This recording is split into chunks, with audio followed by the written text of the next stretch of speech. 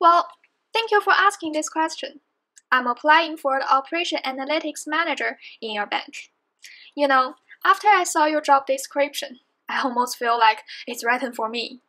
I have all the skills and experience that you're looking for, and I'm confident to be the right person in this position. During my undergraduate study, I had two bank internships.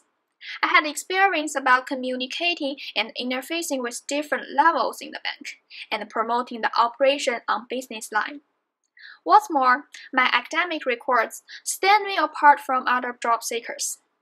Having the master degree in business analytics in UT McCombs, which is the third best program in the world.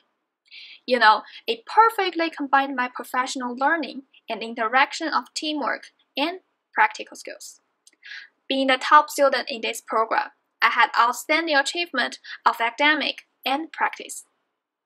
When I studied in McCombs, besides my in-class courses, I also paid attention to expand my knowledge from the user side. Since I'm passionate about banking, I did a lot of research about it. I paid attention to its developing trending, like now, the digital transformation. Even though I just completed my program, I'm not fresh. My high academic background, banking internship experience, combined with my passion and my long-term research, I could even start contributing from day one, and I'm sure I will show my best and my full potential to value this opportunity.